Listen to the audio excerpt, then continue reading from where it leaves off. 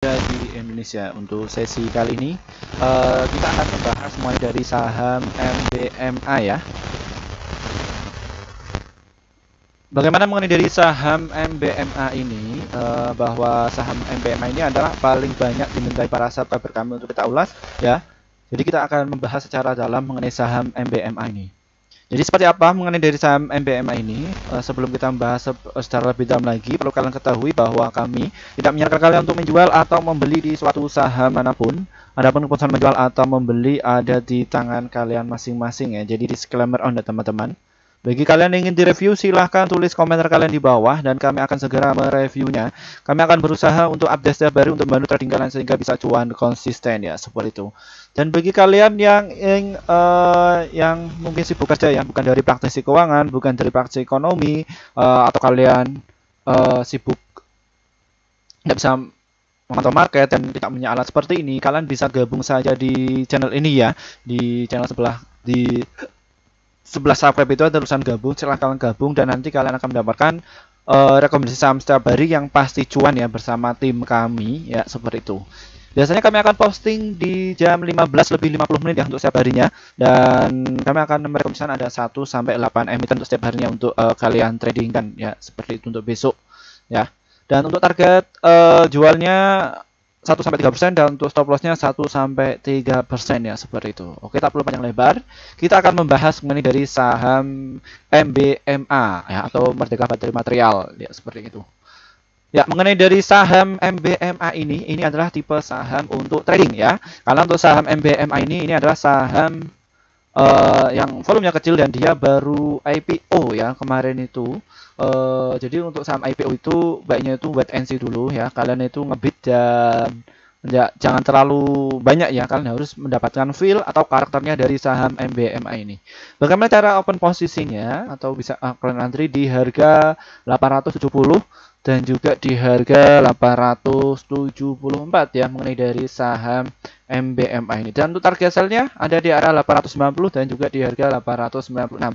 Saham MBMA ini tidak terlalu sepi ya sekali ya, cuman transaksinya sekitar 378 juta ya mengenai dari saham MBMA ini ya. Lalu bagaimana mengenai dari stock price dari saham MBMA ini ya, kita akan cek ya mengenai dari stock price-nya dari saham MBMA ini.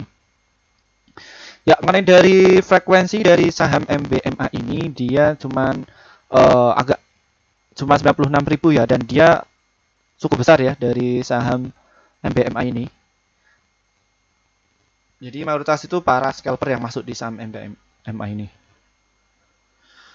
Mengenai dari volumenya uh, dari saham MBMA ini dia sekitar 13 juta 60 ribu dan dari nilai transaksinya cukup besar ya sekitar 1 miliar 161 ribu ya.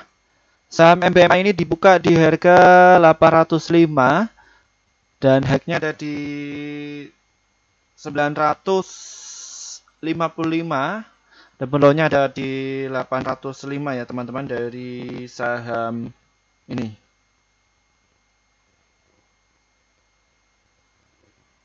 Dan dari sisi bid overnya dari saham MPMA ini bidnya ada 1.474.000 dan overnya ada 308.000 di saham MPMA ini di harga 905.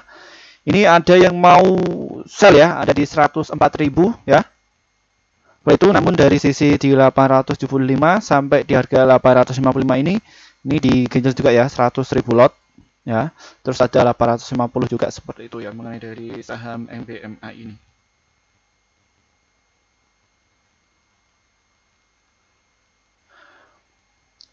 kita juga akan cek ya bagaimana penampakan dari asingnya. Ya asingnya dulu distribusi ya. Asing mulai distribusi karena dia naikkan sudah 11 persen uh, karena dia sudah dapat di harga bawah ya teman-teman dari saham MBMA ini. Ya dia makanya pengen merealisasikan gainnya ya seperti itu dari saham MBMA ini. Ya. Secara finansial dia belum keluar karena dia adalah saham baru IPO, tunggu dia 4 bulan lagi ya seperti itu. Dia IPO di harga 795. Ya, hari ini dia uh, di harga 895 ya. Dia ada kenaikannya seperti itu dan dia uh, jumlah saham yang listing di bursa ini ada 1 mili 1 juta eh 1 miliar ya. 1 miliar 79 jumlah saham ya. Dan dia adalah saham yang paling mahal ya seperti itu apabila di harga ini ya ya termasuk dari sektor diversified metal dan mineral ya atau tambang ya Terus dia termasuk dari Index Development Board Index.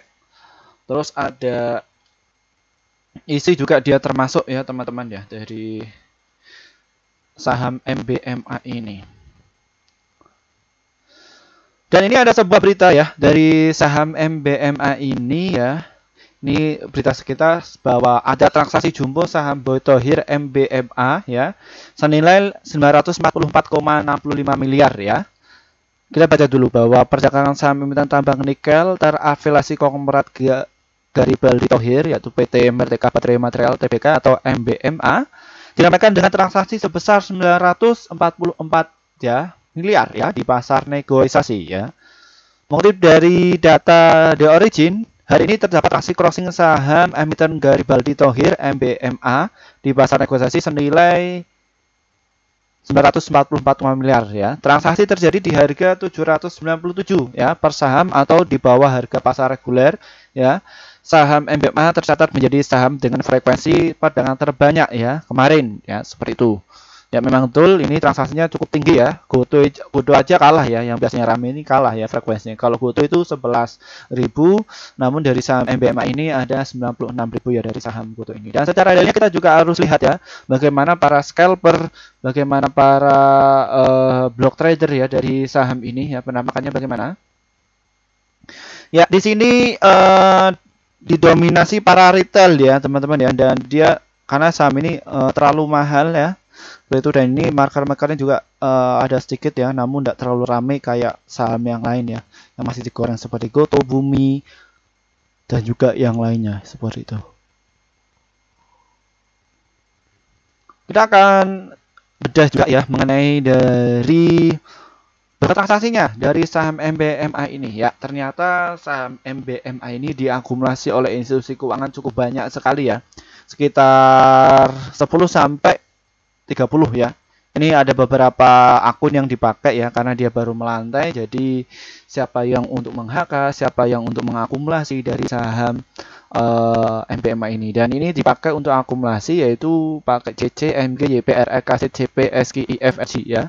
Ini cukup banyak namun dari CC dan juga MG ini dia paling banyak mengakumulasi ya seperti itu ya.